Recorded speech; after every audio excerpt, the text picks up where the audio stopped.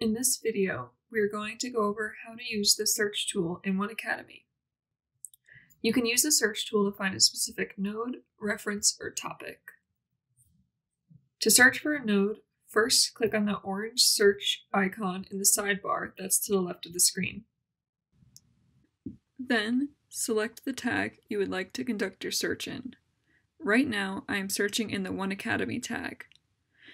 If you'd like to search all the tags, unselect all of the options, so now I can search in all of the tags. Next, select the types of nodes you want to search from the drop-down menu that's next to the search bar. Now you're ready to type in what you'd like to search. To search this keyword, click on the magnifying glass icon. As you can see, there are a lot of results for 1Cademy within the platform.